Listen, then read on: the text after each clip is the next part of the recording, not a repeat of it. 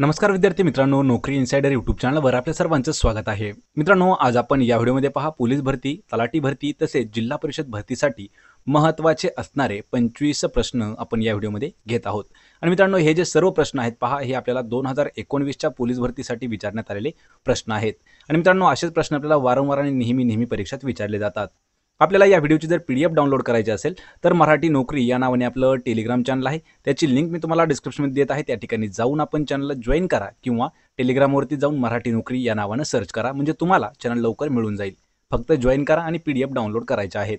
चला तर व्हिडिओला सुरुवात करूया.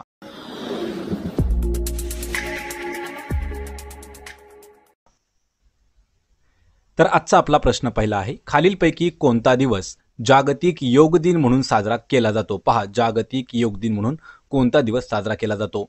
मित्रांनो प्रश्नाचं उत्तर जर येत असेल तर तीन ते पाच सेकंदामध्ये कमेंट करून प्रश्नाचं उत्तर द्यायचं आहे. याचं उत्तर आहे पहा पर्याय क्रमांक एक तर एकवीस जून. लक्षात ठेवायचं एकवीस जून हा जो दिवस आहे हा जागतिक योग दिन म्हणून साजरा करण्यात येत आहे. पर्याय एक आपलं योग्य उत्तर आहे. प्रश्न क्रमांक दोन आहे खालीलपैकी कोणत्या व्यक्तीला मध्य प्रदेश शासनातर्फे दिला जाणारा दोन हजार वीस या वर्षीचा तानसेन पुरस्कार देण्यात आलेला आहे.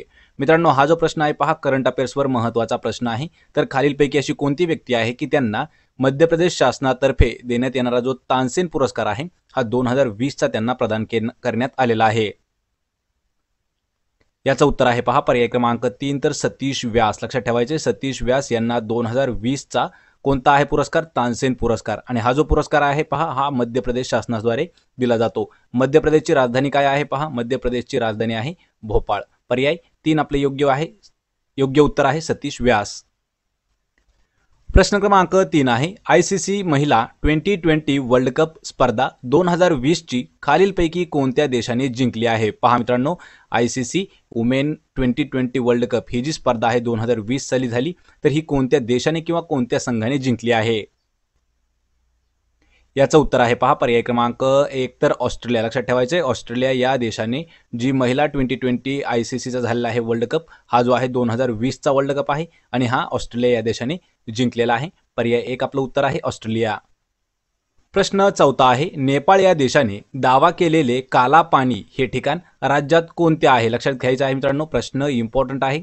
तर नेपाळ देशाने दावा केला होता पहा काला पाणी हे जे ठिकाण आहे हे कोणत्या राज्यामध्ये येतं? याचं उत्तर आहे पहा पर्याय क्रमांक तीन. तर उत्तराखंड या राज्यामध्ये लक्षात ठेवायचे कालापाणी हे जे ठिकाण आहे हे आहे आणि नेपाळ या देशाने दावा केलेला होता. पर्याय तीन उत्तराखंड उत्तर आहे. प्रश्न क्रमांक पाचवा आहे. सोळा एप्रिल अठराशे त्रेपन्न रोजी महाराष्ट्रातील कोणत्या दोन स्थानकादरम्यान देशातील पहिले प्रवासी रेल्वे धावली होती? पहा मित्रांनो या ठिकाणी दिलेलं आहे देशातील पहिली प्रवासी रेल्वे. कधी धावली आहे? सोळा एप्रिल सोळा एप्रिल अठराशे त्रेपन्न या दिवशी धावले आहे. पण कोणत्या दोन स्टेशन दरम्यान आहे ते आपल्याला सांगायचं आहे?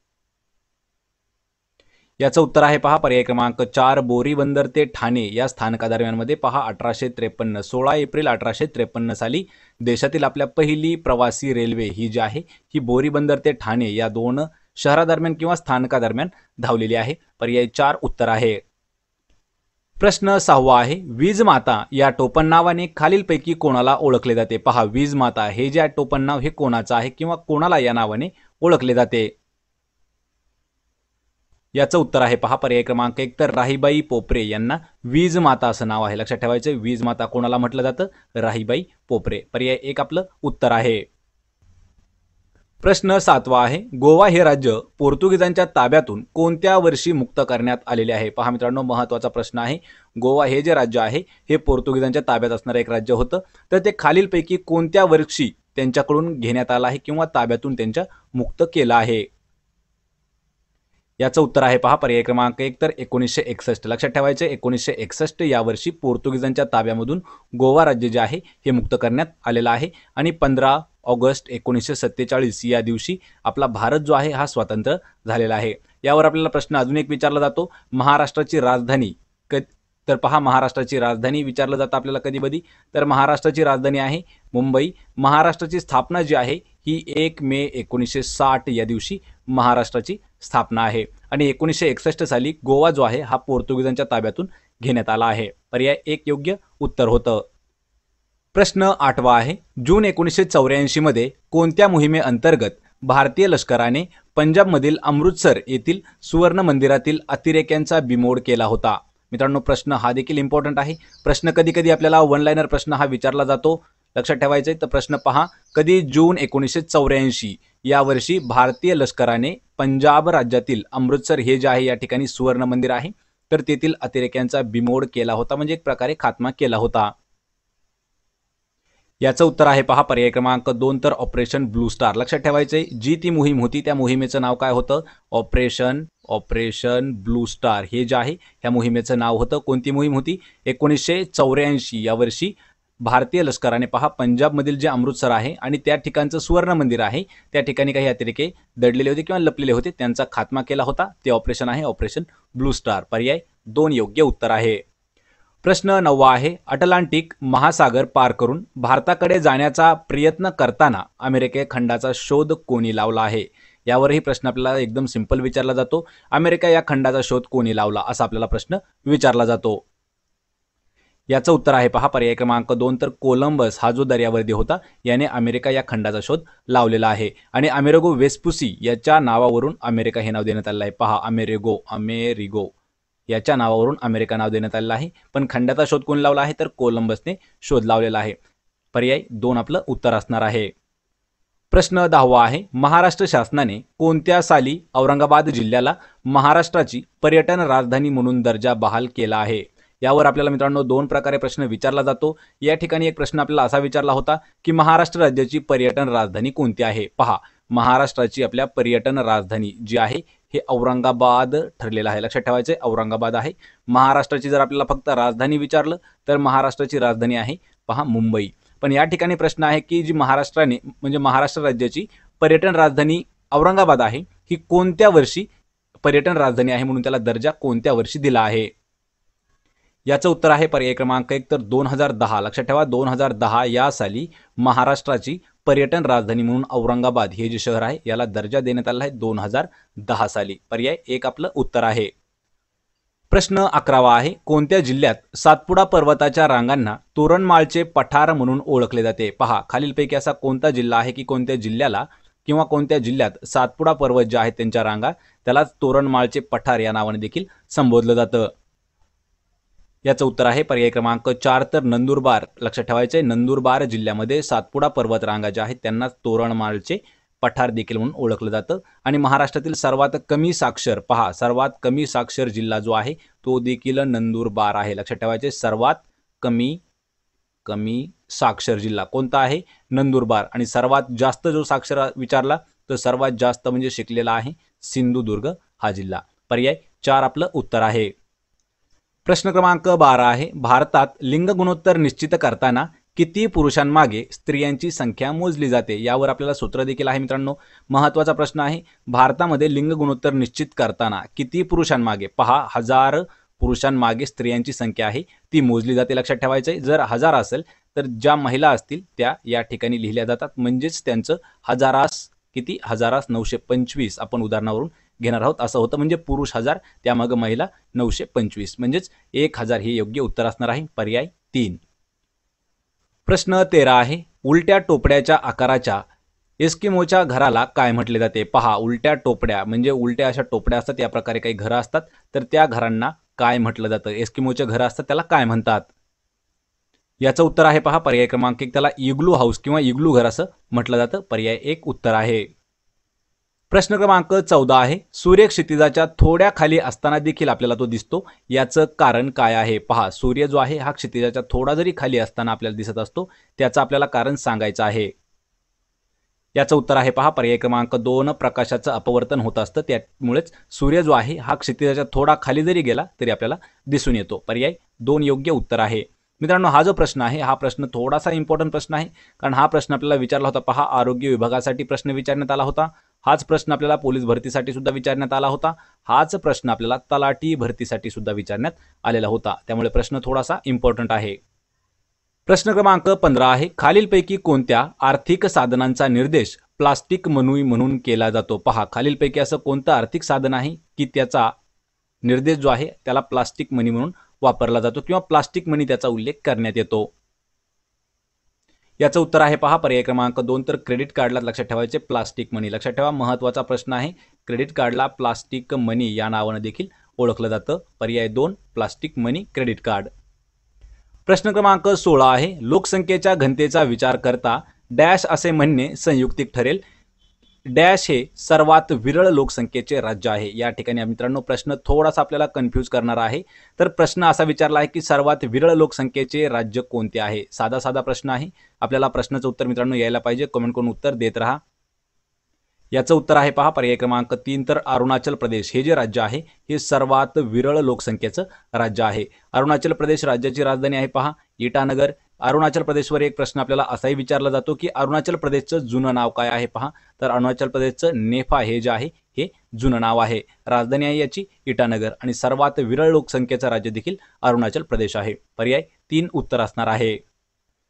प्रश्न सतरावा आहे. आधुनिक भारताचे जनक प्रबोधनाचे अग्रदूत या शब्दात खालीलपैकी कोणत्या समाज सुधारकाचा गौरव करण्यात आला आहे किंवा केला जातो? आधुनिक भारताचे जनक असे लक्षात ठेवायचे याचं उत्तर आहे. पहा पर्याय क्रमांक एक तर राजा राममोहन राय यांचा. लक्षात ठेवायचं काय नावाने आधुनिक भारताचे जनक आणि प्रबोधनाचे अग्रदूत. या नावाने देखील त्यांची ओळख आहे किंवा या नावाशी त्यांचा संबंध आहे. राजा राममोहन राय पर्याय एक. प्रश्न अठरावा आहे. महाराष्ट्रात सव्वीस जून ही छत्रपती शाहू महाराजांची जयंती काय म्हणून साजरी केली जाते? यामध्ये पहा आपल्याला दोन प्रश्न आणि उत्तर मिळाले आहेत. एक ठिकाणी प्रश्न आहे की छत्रपती शाहू महाराजांची छत्रपती शाहू महाराज यांची जयंती. तर जयंती कधी असते पहा? सव्वीस जून या दिवशी शाहू महाराजांची जयंती असते. पण महाराष्ट्रामध्ये ही जयंती काय नावाने किंवा कशाने साजरी केली जाते? याचं उत्तर आहे पहा पर्याय क्रमांक दोन सामाजिक न्याय दिन. लक्षात ठेवायचे सव्वीस जून ही जी तारीख आहे किंवा हा जो दिवस आहे हा सामाजिक न्याय दिन म्हणून साजरा केला जातो. का केला जातो? त्या दिवशी छत्रपती शाहू महाराजांची जयंती असते आणि त्यांचा हा दिवस सामाजिक न्याय दिन म्हणून साजरा केला जातो. पर्याय दोन उत्तर आहे. प्रश्न एकोणवीस आहे. ग्रामगीता लिहिणारे राष्ट्रसंत तुकडोजी महाराज यांचे खरे नाव काय आहे? या ठिकाणी मित्रांनो आपल्याला दोन संतांची नावं विचारली जातात. एक राष्ट्रसंत तुकडोजी महाराज आणि दुसरे म्हणजे पहा गाडगे बाबा. गाडगे बाबा किंवा गाडगे महाराज अशा दोघांचीही आपल्याला पूर्ण नावे विचारली जातात. तर त्यामध्ये पहा राष्ट्रसंत तुकडोजी महाराजांचं खरं नाव काय आहे? पर्याय क्रमांक दोन माणिक बंडोजी इंगळे. हे जे आहे हे तुकडोजी महाराज. लक्षात ठेवायचे तुकडोजी महाराज यांचं खरं नाव आहे किंवा पूर्ण नाव आहे? तुकडोजी महाराज. आणि गाडगे बाबांचं काय आहे? डेबुजी झिंगराजी जानोरकर. हे जे आहे हे गाडगे बाबा गाडगे बाबा यांचं पूर्ण नाव आहे. तुकडोजी महाराजांचं नाव माणिक बंडोजी इंगळे पर्याय दोन उत्तर आहे. प्रश्न वीस आहे. भारतात एकोणीसशे त्रेपन्न साली भारतावर राज्य भाषावार राज्य पुनर्रचना आयोग खालीलपैकी कोणाच्या अध्यक्षतेखाली नेमण्यात आला होता? पहा एकोणीसशे त्रेपन्न या वर्षी आपल्या भारतामध्ये भाषावार राज्य पुनर्रचना आयोग जो आहे हा नेमण्यात आला होता. तर तो कोणाच्या अध्यक्षतेखाली? आणि याचं उत्तर आहे पर्याय क्रमांक एक फाजल अली यांच्या अध्यक्षतेखाली. एकोणीसशे त्रेपन्न या वर्षी भारतामध्ये भाषावार राज्य पुनर्रचना आयोगाची स्थापना करण्यात आली होती. अध्यक्ष कोण होते? फाजल अली. पर्याय एक उत्तर आहे. प्रश्न क्रमांक एकवीस आहे. अठराशे एकसष्टच्या कायद्यानुसार भारतातील खालील ठिकाणी उच्च न्यायालयाची स्थापना करण्यात आली होती. पहा कोणता कायदा आहे? अठराशे एकसष्टचा कायदा आहे. या कायद्यानुसार खालीलपैकी कोणत्या ठिकाणी उच्च न्यायालयाची स्थापना जी आहे ही करण्यात आली होती? याचं उत्तर आहे पहा. पर्याय क्रमांक एक मुंबई मद्रास आणि कोलकाता या ठिकाणी उच्च न्याय ठेवायचे. उच्च न्यायालय जे आहे या ठिकाणी अठराशे एकसष्टच्या कायद्यानुसार स्थापन करण्यात आले होते. मुंबई मद्रास आणि कोलकाता आपलं योग्य उत्तर असणार आहे. प्रश्न क्रमांक बावीस आहे. खालीलपैकी कोणाला भारतातील आर्थिक विकेंद्रीकरणाचा जनक म्हणून ओळखले जाते? मित्रांनो प्रश्न सर्वात महत्त्वाचा आहे आणि इतिहासातील इम्पॉर्टंट क्वेश्चन आहे लक्षात ठेवायचे हा प्रश्न आपल्याला पोलीस भरतीमध्ये विचारण्यात आलेला आहे. हा प्रश्न आपल्याला एक वर्षी तलाठी भरतीसुद्धा विचारण्यात आला होता आणि हाच प्रश्न आपल्याला झेडपी एक्झाममध्ये सुद्धा विचारण्यात आला होता. भारतातील आर्थिक विकेंद्रीकरणाचा जनक म्हणून कोणाची ओळख आहे? याचं उत्तर आहे पहा पर्याय क्रमांक चार तर लॉर्ड मेयो यांची ओळख आहे पहा भारताचा आर्थिक विकेंद्रीकरणाचा जनक. पर्याय चार योग्य उत्तर आहे. प्रश्न तेवीस आहे बनारस हिंदू विश्वविद्यापीठाची स्थापना कोणाच्या पुढाकाराने झालेली आहे? पहा कोणतं विद्यापीठ आहे? बनारस हिंदू विश्वविद्यापीठ याची स्थापना कोणाच्या पुढाकाराने झाली? याचं उत्तर आहे पहा पर्याय क्रमांक चार पंडित मद पंडित मदन मोहन मालवीय यांच्या नेतृत्वात किंवा यांच्या पुढाकारामध्ये बनारस बनारस हिंदू विश्व विद्यापीठ याची स्थापना पंडित मदन मोहन मालवीय यांच्याद्वारे करण्यात आली आहे. पर्याय चार उत्तर आहे. प्रश्न क्रमांक चोवीस आहे. डॉक्टर बाबासाहेब आंबेडकर यांनी आपला हु वेअर दी शुद्राज हा ग्रंथ खालीलपैकी कोणाला समर्पित केलेला आहे? पहा यांचा ग्रंथ कोणता आहे? हु वेअर दी शुद्राज हा जो ग्रंथ आहे हा कोणाला समर्पित केला आहे? ग्रंथ लक्षात ठेवायचा कोणाचा आहे? डॉक्टर बाबासाहेब आंबेडकर यांचा. याचं उत्तर आहे पर्याय क्रमांक एक महात्मा ज्योतिराव फुले किंवा महात्मा फुले यांना हा डॉक्टर बाबासाहेब आंबेडकरांनी हु वेअर दी शुद्राज हा त्यांचा जो ग्रंथ आहे हा समर्पित केलेला आहे. पर्याय एक महात्मा फुले. या व्हिडिओचा मित्रांनो आपला शेवटचा प्रश्न आहे. प्रश्न क्रमांक पंचवीस. भारतीय इतिहासाच्या दृष्टीने महत्त्वाच्या असलेल्या प्लासीची लढाई आणि बक्सारची लढाई या दोन लढाया खालीलपैकी अनुक्रमे कोणत्या वर्षी झालेल्या आहेत? या ठिकाणी एक म्हणजे आपल्याला प्रश्न असा विचारला आहे की पहा प्लासीची लढाई. प्लासीची लढाई आणि दुसरी जी आहे ती आहे पहा बक्सारची लढाई. तर ह्या ज्या लढाया आहेत ह्या कोणत्या वर्षी झालेल्या आहेत? याचं उत्तर आहे पहा पर्याय क्रमांक दोन सतराशे सत्तावन्न ते सतराशे चौसष्ट. लक्षात घ्यायचं मित्रांनो कधी कधी प्लासीची जी लढाई आहे ही सतराशे सत्तावन्न यावर्षी झालेली आहे आणि सतराशे चौसष्ट यावर्षी पहा सतराशे चौसष्ट यावर्षी बक्सारची लढाई देखील झालेली आहे. या ठिकाणी विचारलं की आपल्याला अनुक्रमे म्हणजे प्लासीची लढाई या ठिकाणी आपल्याला सर्वात आधी येईल आणि त्यानंतर येईल बक्सारची लढाई. पर्याय क्रमांक दोन आपलं योग्य उत्तर असणार आहे.